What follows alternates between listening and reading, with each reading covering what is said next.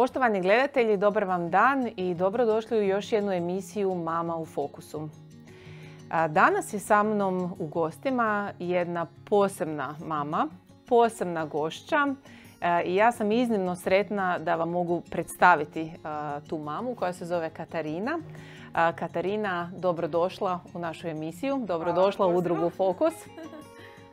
Posebno sam sretna zato što imaš jednu posebnu priču za ispričati vrlo neobičnu priču i tešku priču i ohrabrujuću priču, sve u jednom. I zato ćemo odmah krenuti na to. Ja ću te pitati da nam malo opišeš kako izgledao tvoj put prema majčinstvu. E, moj put prema majčinstvu e, je izgledao malo teže nego, nego kod drugih e, majka. Ja sam majka na drugi način. Ja sam majka posvojene djece. dakle, to je, to je zapravo priča sa sretnim završetkom. muž i ja smo ovoga odmah na početku braka htjeli djecu, naravno, kao i većina ljudi. Prvi godinu dana braka nije to tako išlo i odmah smo krenuli kod doktora jer mi smo odmah htjeli djecu s tim da sam se ja s 21 udala i bilo mi je ono, jako čudno da to, a moj muž je 11 godina stariji od mene, zašto? Ja bi trebala, jel? Sve prirodo bi to trebalo ići kako treba. I bili smo i, e, ja sam puno i molila, u crkvu svaku nedjelju išla i rekao, doći će, svi drugi su molili za nas. Međutim, nije išlo i prvi doktor je odmah rekao, jako teško ćete ostati trudni. I, ali ajmo probati, ja ste spremni na postupke, ovo ono. I ja sam rekao mužu, oćemo, oćemo. I tako smo išli, postupak jedan, drugi, treći i tako. Pa smo, prvo smo prirodno pokušavali kao on je samo mjerio i tako to. Međutim, ništa s toga. Ovoga, I uglavnom, e, pa smo išli na ovih par konkretnih, isto ne uspjeli su svi bili, jer međutim moj je nalaz bio loš, ja imam jako, jako, jako malo jajnih stanica, tako da e, pogodak je najviše bio na meni jer sam bila mlada, muž stariji, on ima koliko toliko super, ja ne, tako da uglavnom ja sam bila ta koja sam se najviše okrivljavala, naravno da on to nije radio, ali drugčije je to kad mi žene to i želimo da raste u tebi i sve, ali jednostavno ne ide. I uglavnom, e, mi smo to pokušavali i ja sam malo s pauzama, malo jel radiš i pa za hoćeš zaboraviti pa se zabiješ u posao, pa u društvo, pa rođendani, pa nećeš, pa svi trudni okolo, pa opet boli, pa boli, pa ova trudna, pa kak, pa kak, pa ne. Ali uglavnom, došli smo do jednog doktora jer ja sam pričala sa mušterijama i tako, klijentima i uvijek neko veli, joj znam ti ja nekog, znaš ti to kak ide. I rekao, ajde idem ja i kod tog doktora, nije problem. Ja. Međutim, taj doktor je odmah po mojim nalazima kojima sam nove na friške napravila, on je ovoga odmah rekao da bi bilo dobro da si odmah predam papire za posvajanje i ako baš želim da može on meni probati, napraviti koji postupak, ali da je vjerojatnost ono skoro pa 1%. Meni je zanimljivo bilo u njegovoj ordinaciji jedna slika e, koja je opisivala djecu u teglicama i imali su cijenu na tome. I ja sam samo njega pitala prije nego što je počeo gdje je ta akcija.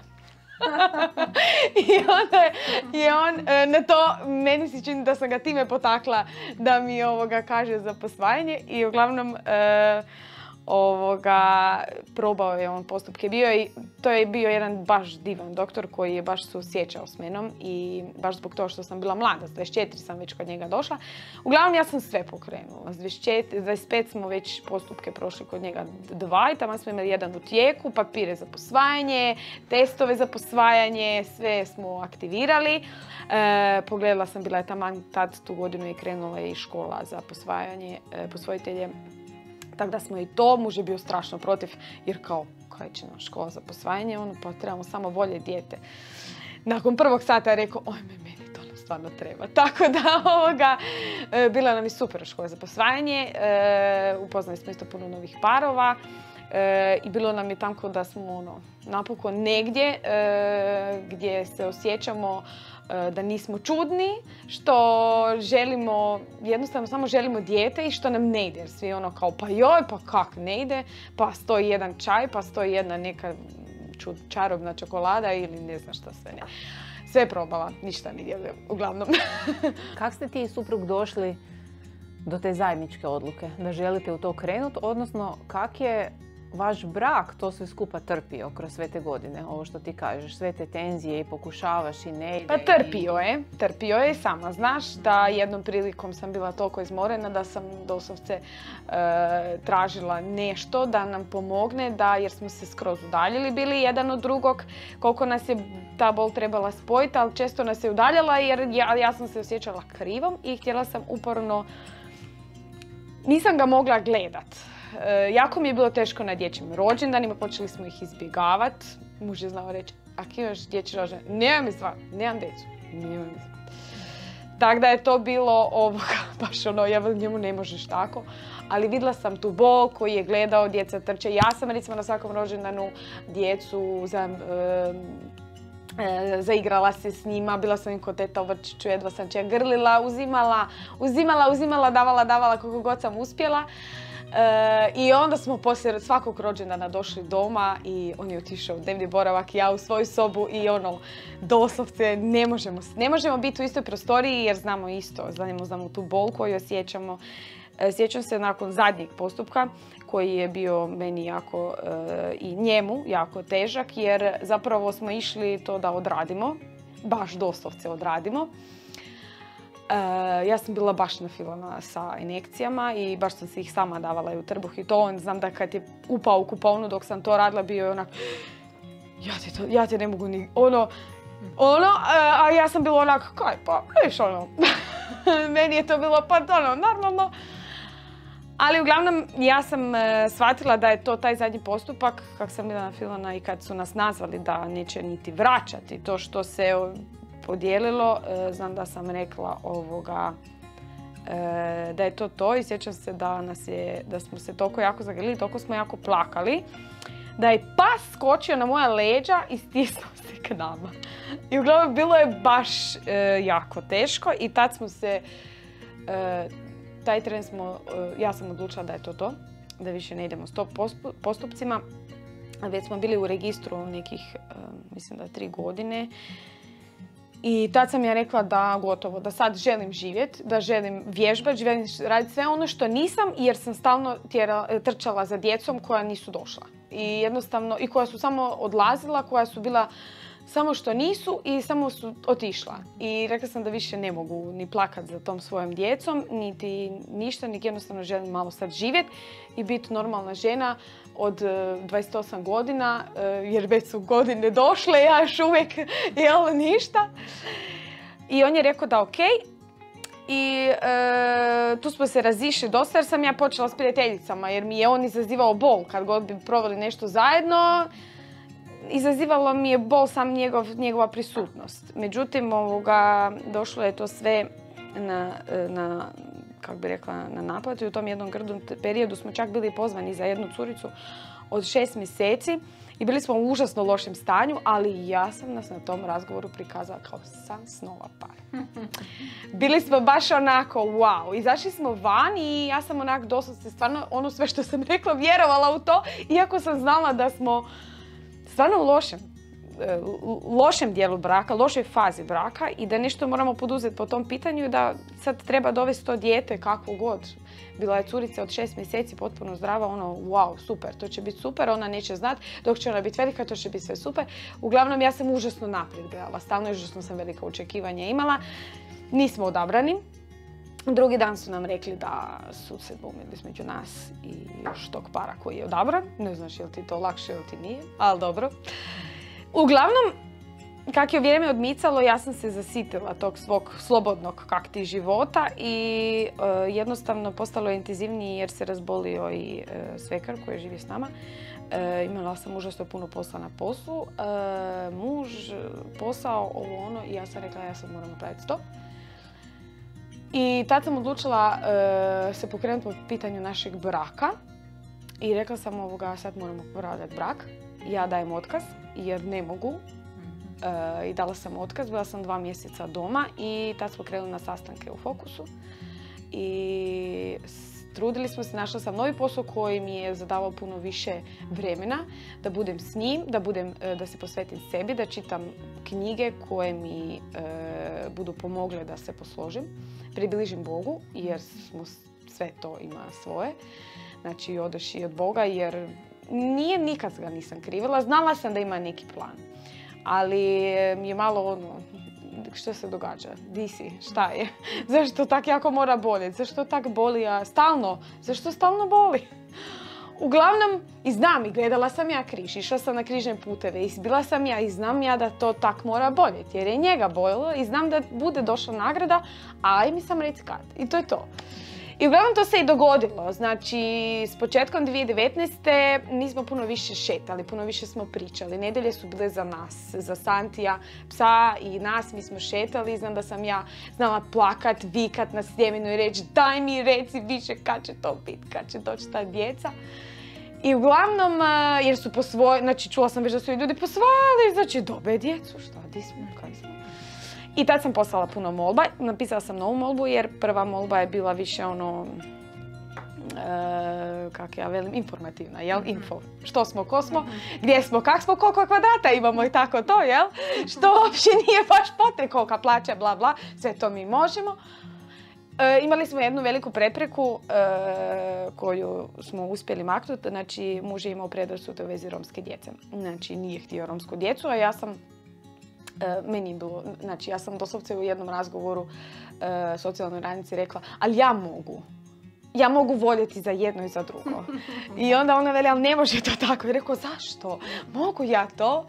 I uglavnom, onda sam njega znala sam mu reći, rekao, kak ne razumiješ? Ne budu, ne budu izgorili na suncu. Uvijek će biti plesni, pjevni, e, muzički, otporni i neće biti bolesni. Sve sam, ono, rekao, ne može biti loše.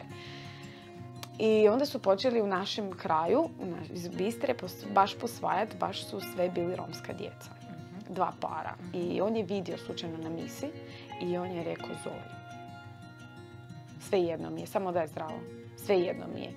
I to je bilo tad kad, smo mi, kad sam ja intenzivno počela zvati, znači to je početak 2019. kad sam ja intenzivno počela zvati, ali sam bila strašno pod E, panikom jer sam bila na poslu koje nije imao još plaću kak treba. I tad je došla ponuda za posao sa većom plaćom, sa većom prijavom, sa sve. I ja idem, ja idem na veći posao. Zašto? Zato što jer, gle, mi zovemo centre, ja mislim moramo imati novaca, mi doći će sad, sad, sad. I to je je odgovor bio, kad? Sad. I ja sam to duboko u sebi znala jer sam na ovom poslu kojem sam imala više vremena išla skoro svaki drugi dan na mise kod Svetog Antuna. Molila sam prve petke, ispovijed, sve i točno sam vidla odgovore, točno sam osjećala, to je moja priprema, to je mojih 9 mjeseci, to je moja trudnoća. Katarina, pripremi se. Bilo je jedno dijete koje se čekalo u Daruvaru, koje mi je rekao socijalni radnik bio predvan, da je jedna mama maloljetna koja još ne zna, bi ostavila, ne bi ostavila. Ja sam zvala svaki mjesec, molila sam za tu mamu da odluči što god treba, što god je najbolje za to dijete, jel sam ja ili je ona, nema veze. U osmom mjesecu eh, je ta mama odlučila ostaviti. Eh, pomogli su joj i njena mama i taj otac djeteta koji je isto bio mlad. I muž je bio samo, znam da sam, imam još poruku sačuvanu kao, a ipak to možda nije bilo naše dijete. I uglavnom, e, došao je deveti mjesec, e, ja sam rekla njemu, ja idem opet, idemo opet zvat, idemo opet sve i tamo se dogo, ja sam svu neku promjenu opet napravila sve, režim prehrane, sve, svašta sam poduzela jer mora, negdje će, nešto će se dogoditi, sada ja znam da hoće. I znam da sam, taj tjedan je bio užasno težak, i išla sam na klanjanje u četvrtak i u petak sam još ujutro išla na misu i na ispovjed i zvala sam samo taj centar. U taj tjedan sam zvala centra, ali taj centar još nisam uspjela mhm. dobit. I oni su odmah rekli, pa šta kažete na 11. 10. u 8 ujutro. Ja kažem na što? Pa na razgovor. Pa dobro, kaj to znači? Da imate neke, pa imamo 8 postupaka, naći ćemo nešto za vas. 10. Mhm. je nama 10 godina braka bilo. Znači 10 godina je to sve? Točno 10 godina. Točno 10 godina. I, i, i, i taj dan je ovoga, ono, e, išli smo još na zadnji izlet sami na, u Italiju. I ja mu velim rekao, ja imam neki osjećaj da više ne bude bilo tako. I da nećemo samo tako moći spakirati, ajmo. I ovoga, kaj misliš koliko bude, jel bu beba? Uglavnom sjećam se da sam se ja svaku noć budila i bilo me strah što ako će biti beba. Jer bebi ne mogu ništa reći, ne mogu objasniti. on ne može, mogu samo grliti, ali on zna da ja nisam. On, znači, to mi je nekako bilo ono, bebe znaju, osjećaju to, nije više to. Znači, iako je kod udomitelja i u domu i sve, znači opet nova osoba. Dok se ta beba navikne, tu tugu u očima bebinim, a ne možeš reći. A mi smo. I ko je došao? Došli su Megi i Mate. Blizanci. Blizanci. Rekla da me smekala kad ste odmah morali dvoje ja kažem, tak je bilo u paketu. I kak si to, znači, ljudima je teško jednu po jednu bebu dobiti, pa a kamoli dvoje u paketu? Kak ste to ti i suprug? E, pa znači doslovce došli, došli smo na razgovor i oni su odmah nama rekli jeste vi spremni, mi imamo dvoje za vas. I mi ono, pogledamo se blizanci. Curice i dečko. Mi nismo trebali ni pogledati sliku, mi smo se samo pogledali to je to. To je sve što smo htjeli. I kad su rekli četiri godine, ja vem, savršeno znaju sve, znaju pričat, sve, sve mogu im objasniti apsolutno sve, di ćeš bolje. I, ovoga, I kad smo ih vidjeli, taj prvi tren, e, kad smo ih vidjeli, znači Mate je takav kakav je, on je odmah. Došli su, on je odmah bio, ono, otvorio se, on je odmah, i odmah je bilo tata, i odmah je bilo mama, jer udomitelji su bili divni, oni su ih pripremali cijelo vrijeme na to. E, da Mate je čak bio baš netom prije neka dva tjedna, baš svaki dan skoro doživljavao kad će moja mama i tata doći po mene. On je baš plakao, on je takav moj drama queen, kak ja njemu velim, on je baš je dušica moja. Ovoga, I uglavnom, e, oni su odmah, a Megi je takva žensko, drži u sebi, pa jel, mogu ja to progutati, ali ona je bila sva, sva samo zatajna i sretna i velim, isto smo, odmah smo se, dva i pol sata smo se družili, igrali s njima, grlili, puno smo se grlili, puno smo se i ono i pitali smo doslovce njih jel to je to, jel hoćete da dođemo opet, jel da, da, da, krevet na kat nam kupite, ovo ono. I uglavnom sjeli smo u auto i ja sam ga pogledala i ja sam upitala, jesu to naša djeca? On veli da, naravno da jesu. Jo, ja rekao, već sam mislila da ćeš reći ne. I uglavnom mi smo odmah krenuli sve papire, zvali smo odmah Zaprišić, sve žive smo obavijestili, šefove, sve i nekako se sve otvaralo. Svi prijatelji su nam nudili sjedalice, šta god trebalo pomoć, odjeću, obleku, šta god trebate. Znači to je bilo, njemu su prijatelji pomagali oko sobe, on je to ekspresno farba, slagali su ormare, ja sam peglala, prala napokon dječju robu. Znači to je bilo uzbuđenje, ono wow, wow, wow. I uglavnom, oni kad su došli, još taj dan nam je bilo ono, sve smo spremni s posla, jedva čekam kraj smjene i ovoga, i zvale nas iz centre, vele možda se dogodi da Magdalena i Mate neće ići, neće htjeti ići s vama taj dan, pa dajte, pripremite se na tu mogućnost pa da idete ovoga, da se negdje prespavate pa da dođete drugi dan. E, međutim, mi kad smo došli, nije ih bilo kod udomitelja, veli, oni su tu dole niže u parku, odite do njih. Oh, ok, još malo agonije, dobro, i mi idemo i vidimo ih u parku i mi zavićemo Megi Mate, a oni se zaderu, ono, mama, tata i zatrči se k nama i mi smo odmah znali to je to, idemo. I Mate je doslovce eh, iz parka trčao, idemo brzo, ja sam se spakirala, idemo, idemo, idemo. I mi onak, čekajte, daj malo idemo se poigrati u parku, ajde polako. I tak smo bili, uglavnom, znači on je došao na dvorište, sjeo u auto, sjedali su i on ide. I tako da smo bili baš jako sretni zbog toga. E, Megi je htjela sve lijepo po redu. I još tak malo smo se porazgovarali s udomiteljima. Mene su zanimala pitanja ko šta ka jede, kak to kreće se jutro, jel ono, kakve su to. U principu prva noć je bila, naravno, baš ono ko da imaš bebu, buđenje, sve bili su nam u krevetu, ali bilo je baš onak zabavno. Oni su bili strašno sretni što je Santi upao u krevet i onda je pesa u krevetu. Bilo to tak super jer smo se bojali kako će to biti.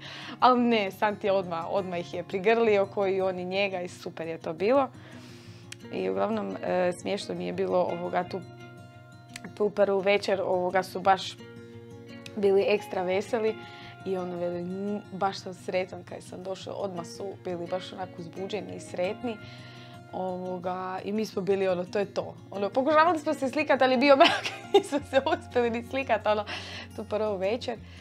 A onda su slijedili dani malo je bilo, naravno, teško. E, oni su bili toliko uzbuđeni da kroz dan nisu spavali, a bili su premoreni pa su bili nervozni. Mate je odmah pokazivao, ona, ona se silno na početku htjela nama dopast, tako da je ona radila skoro sve ono kako bi je mislila da bi, tu i tam je imala koji ispada. Mate je često imao ispade jer on je takav, on odmah pokazuje emocije i sve što ne valja ali e, na kraju je mic po mici išlo to sve kak treba. Ma, mužu je bilo teško jer su njega, e, nisu ga odbacivali, ali ono, doslovce su mu znali reći, a ne trebamo, mi tebe mi imamo mamu sad i njemu je to bilo jako teško jer je on isto bio željan e, svega toga. Međutim, brzo je to, brzo su oni njega tatkali puno i to rekao je Isuse, Bože, zovu nas mama i tata za svih onih deset godina što smo čekali. Jer rekao, jesi vidio ona. E sad, s obzirom da smo sad već došli pred kraj našeg vremena i čak smo malo ovaj, i duže, ja bi još imala tisuću pitanja za pitat i vjerujem da bi naši gledatelji i željeli čuti još puno više jer ovo je samo nešto čisto za početak malo, ali samo za kraj. možda jednu ili dvije rečenice koje bi ti osobno poručila parovima poput vas koji pokušavaju, pokušavaju, ne mogu, čekaju, koji prolaze kroz isto ovo što ste vi prolazili deset godina? Koji bi bio tvoj savjet sad iz ovih cipala u kojima si danas? Nemojte se udaljavati jedan od drugog. E, trudite raditi na sebi i na svom braku cijelo vrijeme. E, I ako ne ide prirodno, stvarno, nemojte se truditi kod doktora i sve. Ima toliko djece koji jedva čekaju nekoga zvat mama i tata. nemam više šta nadodat ovom razgovoru. Mislim da je ovo definitivno za mene bio jedan od najemotivnijih razgovora do sada u našim emisijama. Iako ko želi stvarno, evo imamo grupu Josipove, tamo su sve posvojiteljice. I one koje su posvojile i one koje čekaju to je meni bila iznimna, iznimna podrška sada i na početku. Ja sam, ja sam bila među prvima u grupi. Mhm. Sad nas ima, mislim da preko 63. Grupa se zove?